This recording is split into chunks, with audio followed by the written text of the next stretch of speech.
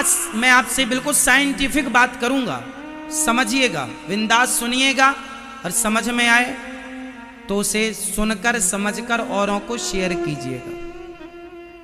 देखिए, आपको पता है कि शंकर जी के ऊपर दूध क्यों चढ़ाया जाता है? शंकर जी पर दूध ना चढ़ाओ, इस बात की पिक्चर बना दी। करोड़ों खर्च करके पिक्चर बना दी। और जिस पिक्चर से इन्होंने ये मैसेज दिया कि शंकर जी पर दूध ना चढ़ाओ, गरीबों में बांटो, उस पिक्चर ने लगभग एक हज़ार करोड़ का बिज़नेस किया। अब मेरा सवाल उन पिक्चर बनाने वालों से कि जब आपको गरीबों की इतनी ही चिंता है कि दूध शंकर जी को ना चढ़ाओ, गरीबों में बांट दो तो आपने भी तो पिक्चर बना के हज़ार करोड़ कमाए। आपने कितने करोड़ गरीबों में बांट दिए भाई? आपने कितने हॉस्पिटल खुलवा दिए? आपने कितने कॉलेज, कितनी यूनिवर्सिटियाँ बनवा दी? आप तो पिक्चर बनाने वाले हैं। आप तो करोड़पति नहीं, अरबपति हैं। आप तो गरीबों के लिए क्या बंबई शहर में फुटपाथ पर लोग नहीं सोते? क्या उनके लिए आपने घर बनाने की व्यवस्था की कि चलो, हज़ार, दो हज़ार गरीबों की आप ही मदद कर देते, घर बना के दे देते, उनके सर पर छाया हो जाती? केवल गरीबों के नाम से पिक्चर बनाकर हज़ार करोड़ कमा लिए और सनातन धर्म के युवाओं को भड़का दिया कि शंकर जी के मंदिर नहीं जाना। हम जो कह रहे हैं वही सही। है अब मैं अभी साइंटिफिक उत्तर दूँगा कि शंकर जी को दूध क्यों चढ़ाया जाता। है अभी मैं साइंटिफिक समझाऊँगा आपको। अब मुझे एक बात बताइए। शंकर जी पर दूध ना चढ़ाओ, इसकी पिक्चर बना दी। पर शराब ना पियो, क्या इसकी एक भी पिक्चर बनी आज तक? शराब नहीं पीनी चाहिए। क्या इस बात की इन पिक्चर बनाने वाले सुपर डुपर स्टारों ने एक भी पिक्चर बनाई?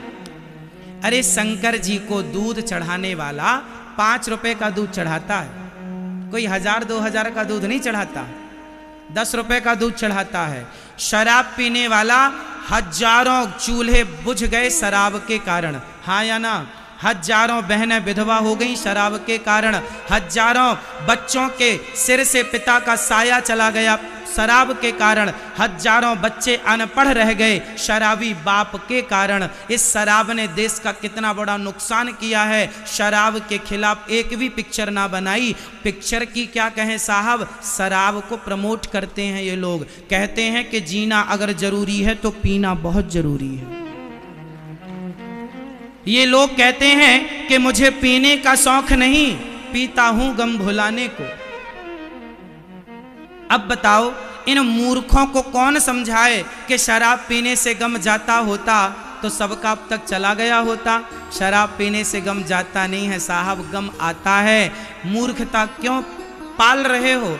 शराब पीने से सिवाय सत्यानाश और सर्वनाश के कुछ ना होगा। सर्वनाश होता है शराबियों का। ये लोग शराब का प्रचार करते हैं, लेकिन कहते हैं, शंकर जी को दूध ना चढ़ाओ। अब सवाल मेरा आपसे, बताइए, शंकर जी का, शंकर जी पर दूध चढ़ाने से देश का ज़्यादा नुकसान है या शराब पीने से देश का ज़्यादा नुकसान है? उत्तर दो। अपने विवेक से अरे दूध तो गैया रोज देती है। और दूध क्यों चढ़ाते हैं? चलो मैं ये भी समझा दूँ आपको। बताओ, आप उत्तर दो। सबसे ज़्यादा दूध शंकर जी को किस महीने में चढ़ाया जाता है? किस महीने में? वैसे तो शंकर जी को दूध लोग चढ़ाने वाले बारह महीने चढ़ाते हैं, पर विशेष जो मान्यता है, वह श्रावण की सावन को शंकर जी को दूध चढ़ाते हैं। अभिषेक होता है रुद्र। हर आदमी अपने घर में माटी के शंकर जी बनाकर रुद्राभिषेक करता है और शंकर जी को दूध से अभिषेक। अब मैं आपको समझाऊँगा कि शंकर जी को दूध सावन में क्यों चढ़ाया जाता है। उत्तर सुनिएगा। कितना साइंटिफिक उत्तर है। समझिएगा। जब अषाढ़ में पानी गिरता है, जब अषाढ़ में पहला पानी गिरता है सब मौसम का पहला सीज़न का पानी गिरता है तो वह पानी आकाश में जितना भी पॉल्यूशन होता है, प्रदूषण होता है, वह पहला पानी सारा प्रदूषण लेकर नीचे आता है, अपने पानी में घोल कर। और जब पानी नीचे ज़मीन पर गिरता है तो उस पहले पानी से जो पहली घास तैयार होती है, चूँकि वह घास जहरीले पानी से तैयार हुई, क्योंकि पॉल्यूशन था ना।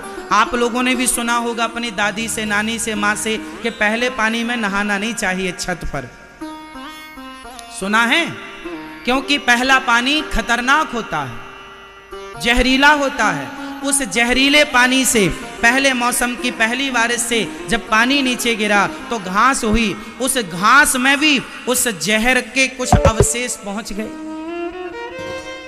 उस घास को गाय ने खाया तो गाय ने जहरीली घास खाई तो दूध कैसा हुआ? उस जहर के कारण हल्का सा दूध में कोई प्रभाव आ सकता है, ऐसे हमारे ऋषि मुनियों का रिसर्च है, बाप दादों की रिसर्च है। उन्होंने कहा कि भाई सावन का पहली घास का पहला दूध है, वो खाओ मत। क्योंकि हो सकता है जहरीला हो। इसलिए वो दूध क्या करें? दूध फेंक भी नहीं सकते। तो एक काम करो, शंकर जी को चढ़ा दो। पुण्य भी मिल जाएगा और दूध फेंकने का पाप भी नहीं लगेगा। ये परंपरा बनाई गई कि पहला दूध गाय का, सावन के महीने का, पहली घास का, है ना? हफ़्ता भर का दूध पहले वेस्ट। भाई, जब गाय पहली बार जन्म, बछिया, बछड़े को जन्म जन्म देती है तो उसका जो दूध होता है उसको क्या बोलते हैं पहले दूध को? कील बोलते हैं, है ना? वो दूध खाया पिया नहीं जाता मतलब उसको, वो दूध फट जाता है, रबड़ी जैसी हो जाती है। आप समझते हैं? तेली बोलते हैं, तेली। आपकी भाषा में कुछ और बोलते होंगे।